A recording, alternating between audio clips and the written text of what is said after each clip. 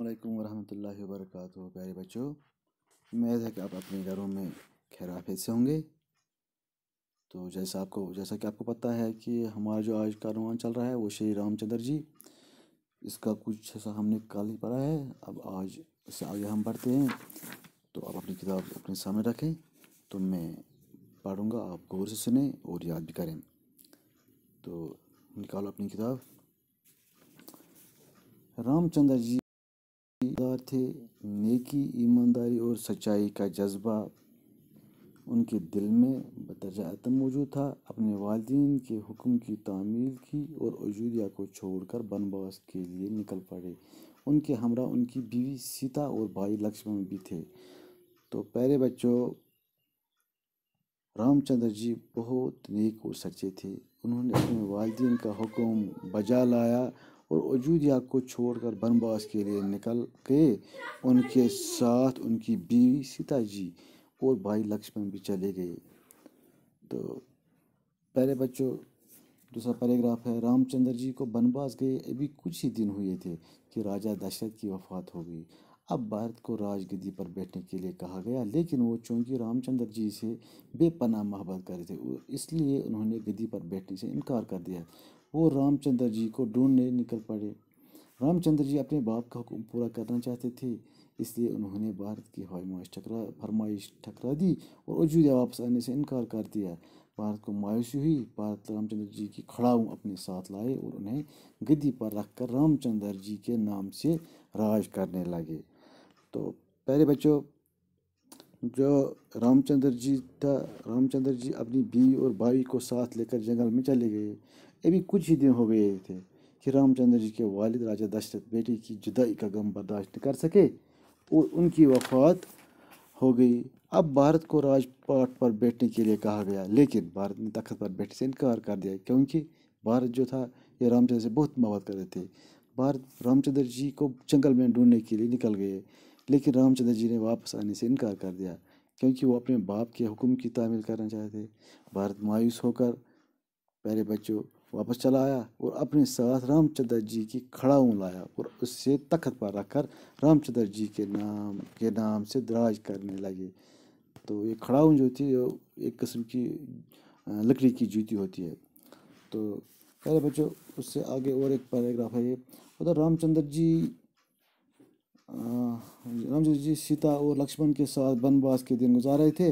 वहाँ लंका के राजा रावण की बहन सुरुख ने रामचंद्र जी को अपने दाम मावत में फंसाने की कोशिश की।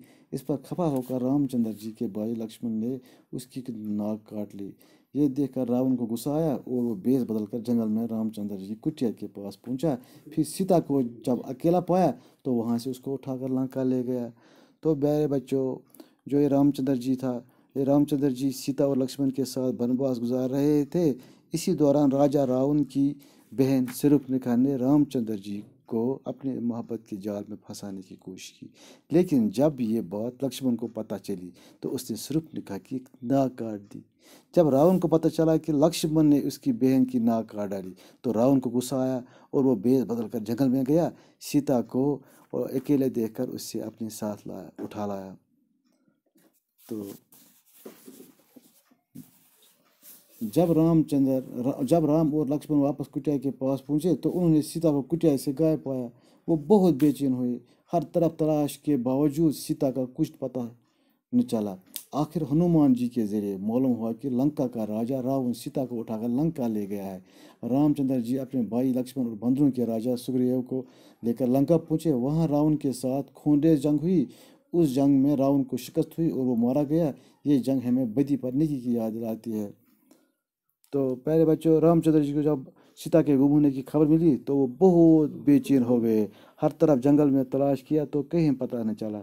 हनुमान जी ने बताया कि लंका का राजा रावण सीता को उठा कर ले गया है तो रामचंद्र जी अपने भाई लक्ष्मण और बंधुओं के राजा सुग्रीव को लेकर लंका पहुँचे और फिर रावण के साथ बहुत लड़ाई हुई और रावण को लड़ाई में हार हो गई। उसको उसने शिकस्त दे दी और वो मारा गया।